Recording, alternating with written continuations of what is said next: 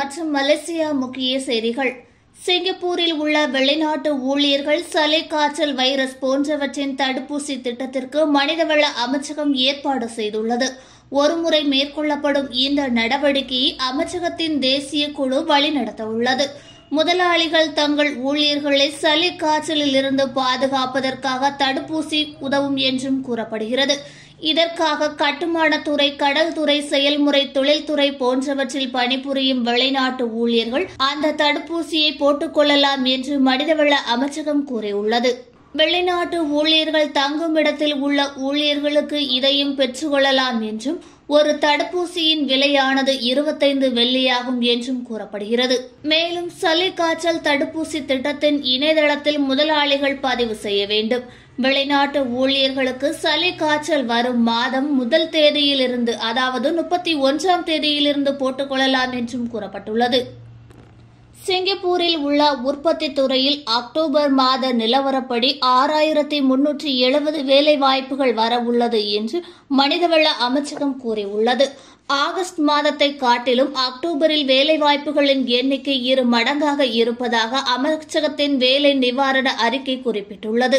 SG united வேலை திட்டத்தின் கீழ் வழங்கப்படும் பத்தாயிரத்தி நானூறு வேலைகளில் உற்பத்தி துறையில் உள்ள வேலைவாய்ப்புகள் சுமார் அறுபத்தோரு சதவீதம் என்றும் இவற்றில் இரண்டாயிரத்தி எழுநூத்தி பத்து வேலை பயிற்சி திட்டங்களும் ஆயிரத்தி முன்னூற்றி முப்பது வேலை பயிற்சி வகுப்புகளும் அடங்கும் என்றும் கூறப்படுகிறது. மேலும் சுமார் நாலாயிரத்தி ஐநூறு வேலைவாய்ப்பு நிபுணர்கள் நிர்வாகிகள் மேலாளர்கள் தொழில்நுட்பம் போன்றவை எனவும் தெரிவிக்கப்பட்டுள்ளது. கூடுதலாக ஆயிரத்தி எண்ணூற்றி முப்பது வேலைகள் மற்றவர்களுக்கு வழங்கப்பட்டுள்ளது. மின்னியல் துறை பொறியியல் துறை உற்பத்தி துறை போன்றவற்றில் அதிக வேலைவாய்ப்புகள் உள்ளது என்றும் கூறப்படுகிறது. வந்தே பாரத் திட்டத்தின் மூலம் சிங்கப்பூரிலிருந்து தமிழகத்திற்கு பல்வேறு விமானங்கள் இயக்கப்பட்டு வருகிறது. தற்போது சிங்கப்பூரிலிருந்து இந்த மாதம் அதாவது நவம்பர் மாதம் இருபத்தெட்டு விமானங்கள் திருச்சி சென்னை மதுரை ஆகிய நகரங்களுக்கு இயக்கப்பட இருக்கிறது.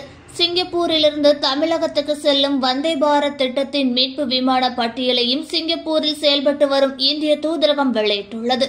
வந்தே பாரத் திட்டத்தின் விமானத்தில் பயணிக்க விரும்பும் பயணிகள் ஏர் இந்தியா எக்ஸ்பிரஸ் விமான நிறுவனத்தின் அதிகாரபூர்வ இணையதளம் மற்றும் அனுமதி பெற்ற முகவர்கள் மூலமாகவோ பயணச்சீட்டுகளை பெற்றுக்கொள்ளலாம் என்றும் அறிவிக்கப்பட்டுள்ளது. மேலும் விமானத்தில் பயணிக்கும் பயணிகள் அனைவருமே தொற்று நோய்க்கான பாதுகாப்பு மருத்துவ முன்னெச்சரிக்கை நடவடிக்கைகளை மேற்கொள்ள வேண்டும் என்றும் கூறப்பட்டுள்ளது. மலேசியாவில் தற்போது கோவிட் நைன்டீன் பெருந்தொற்று தாக்கத்தை கருத்தில் கொண்டு நாட்டில் ஆர்எம்சிஓ எனப்படும் மீட்சி பெறும் நடமாட்டு கட்டுப்பாட்டு உத்தரவை சிஎம்சிஓ எனப்படும் நிபந்தனைக்குட்பட்ட நடமாட்டு கட்டுப்பாட்டு உத்தரவை அரசாங்கம் பிறப்பித்துள்ளது. இந்நிலையில் நவம்பர் ஒன்பதாம் தேதி முதல் டிசம்பர் ஆறாம் தேதி வரை ஆலயங்கள் திறப்பதற்கும் திருமணங்களை நடத்துவதற்கும் அரசாங்கம் அனுமதி வழங்கியுள்ளது.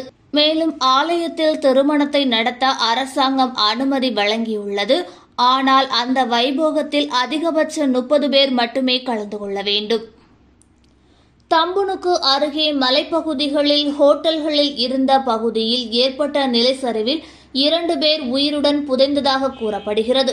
இன்று அதிகாலை ஒரு மணி அளவில் நிகழ்ந்த அந்த சம்பவத்தில் ஹோட்டல்களில் தங்கியிருந்த ஆண் மற்றும் பெண் இருவருமே அந்த நிலச்சரிவில் புதைந்துள்ளார்கள் என்று தீயணைப்பு மற்றும் மீட்பு துணை அதிகாரிகள் தெரிவித்துள்ளார்கள். மீட்பு பணிகளை மேற்கொள்வதற்காக உடனடியாக ஈப்போ தீயணைப்பு மற்றும் மீட்பு நிலையத்தை சேர்ந்த மீட்பு குழு ஒன்று அங்கு அனுப்பி வைக்கப்பட்டது. நிலச்சரிவில் புதைந்தவர்களின் விளையாட்டு காலணிகள் மட்டுமே இதுவரை கண்டுபிடிக்கப்பட்டுள்ளதாக தீயணைப்பு அதிகாரிகள் தெரிவித்துள்ளார்கள். ஓகே ஃப்ரெண்ட்ஸ் இது போன்ற நியூஸ்களை உடனுக்குடன் தெரிந்து கொள்ள எங்கள் ரேஸ் தமிழ் சேனலை லைக் பண்ணுங்கள் ஷேர் பண்ணுங்கள் கமெண்ட் பண்ணுங்கள் மறக்காமல் சப்ஸ்கிரைப் பண்ணுங்கள்